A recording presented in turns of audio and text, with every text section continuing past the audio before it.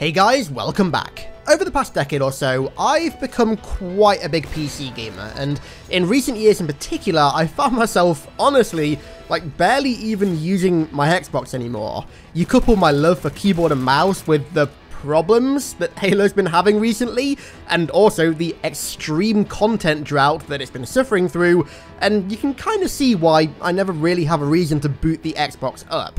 Now, of course, very soon, this is all going to change. With MCC coming to PC, and then next year, Halo Infinite coming to PC, my two loves will finally be united. Properly, this time. But in the infamous words of 343, MCC PC is ready when it's ready, and Infinite is, like, still well over a year away. But in the interim, we have something very interesting to tide us over.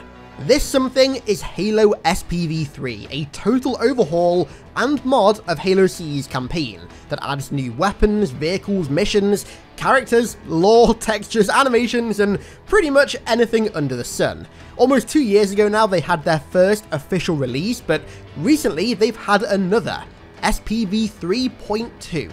With this new release came a whole host of new features, but what we're going to focus on today is arguably the most significant, Commander. Halo Combat Evolved's new and first ever Arbiter mission. So today, I want to talk about the Commander mission. I want to talk about its lore, what it does well, what it doesn't do so well, and then let you guys enjoy some lovely pure gameplay untainted by my voice. Capiche? Capiche.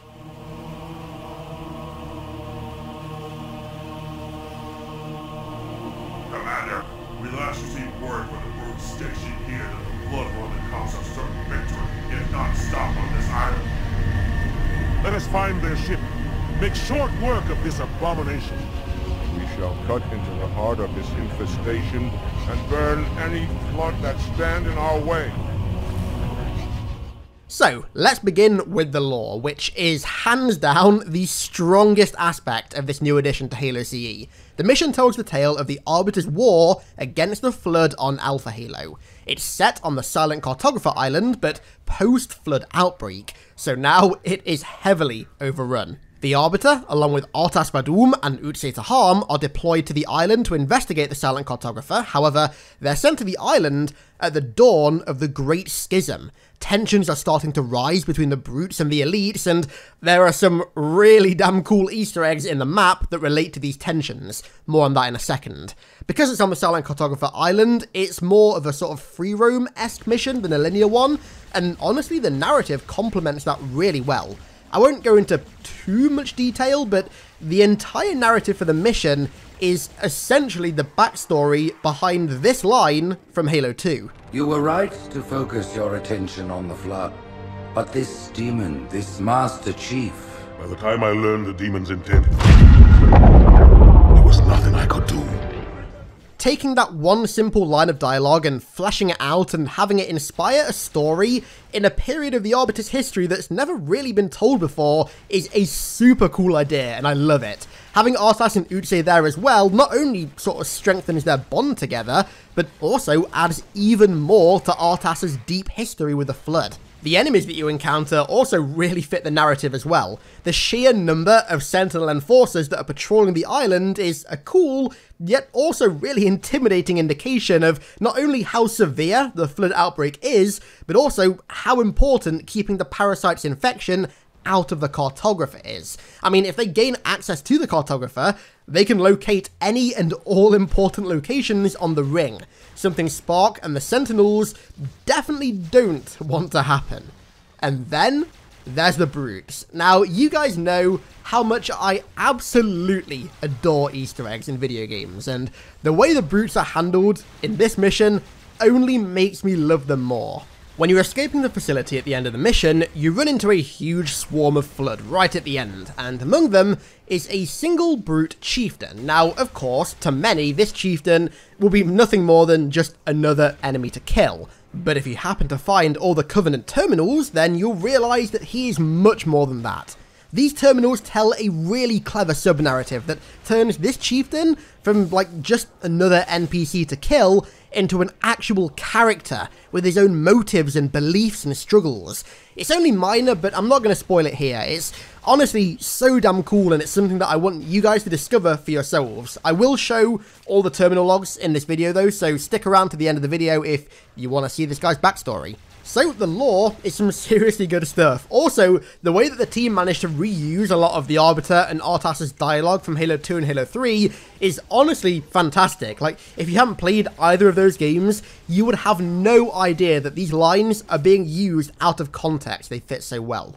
The environments are mostly gorgeous as well, the beach in particular. I mean, the fact that this is in like an almost 20 year old game is absolutely baffling to me. The fact that they're able to do this with a 20 year old game engine is outstanding, honestly. Most of the encounters, I say most of the encounters, are pretty cool too. Like fighting the Flood for the first time in a familiar location is actually really cool, the beach fights in particular. Some of the battles take place in different areas as well that we're not really used to, so it makes the whole island and level feel fresh, even though it's technically not fresh. However, I do want to touch on the negatives before I let you guys enjoy the rest of the gameplay. So, since we were just talking about encounters, some of them really do suffer from SPV3's general issue with enemy encounters. They're simply like too overwhelming. The sheer number of enemies attacking you most of the time is honestly like just way too much and legitimately unfair and I noticed it quite a lot during this mission. In the tighter corridors in particular, it gets to a point where it stops being challenging and frankly just starts getting annoying and not fun. It's hard to appreciate the changes and additions the team made to the enemies when the sheer number of them on screen at once makes fighting them just not fun. It's not the enemies themselves that aren't fun to fight, it's just the ridiculous amount of them that dilutes what could be an enjoyable experience. But hands down, my biggest complaint is the lighting. Now, I get on paper what the team were trying to do, but my god, some of the areas are literally pitch black. Like, so pitch black that I can't see two feet in front of me. It's, like, that dark. I think the idea was that the sword was meant to act as almost like a torch, but when you can only pull it out for 20 seconds before it goes on a 30 second cooldown, it just doesn't work. I died countless times because my sword was on cooldown and I couldn't see anything around me except for the extremely bright muzzle flashes. Again, I see what they were trying to do, and I mean, hell, I like the idea of using darkness to make the Flood seem more terrifying. I actually hate the fact that newer Halo games don't utilize darkness more, but this is like, it's just way too much, frankly.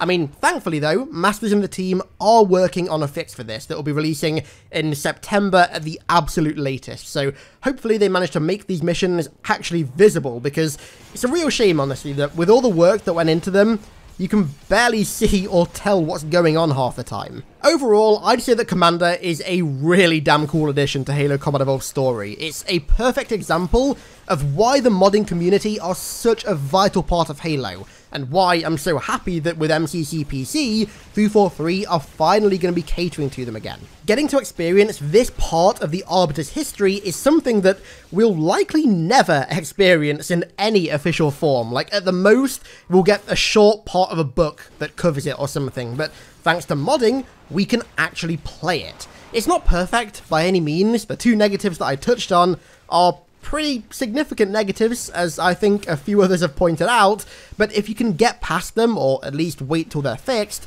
this mission and the narrative that it tells are really, really enjoyable. Just need that brightness fix now. I mean, apparently it's something to do with the HDR, so hopefully, fingers crossed, it doesn't take them long to fix. And so, those are my thoughts on the mission. Make sure that you stick around to see how it plays out and also experience the ending and also sort of Easter egg story that I alluded to earlier, as well, of course, as some juicy Elite on Flood action.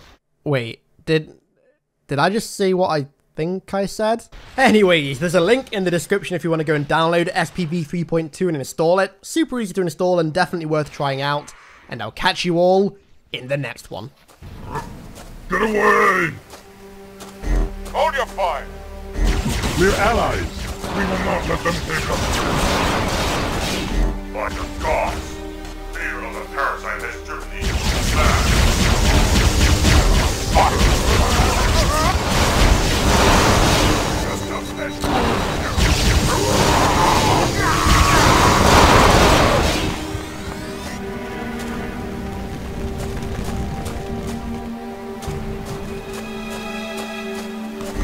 Stand firm.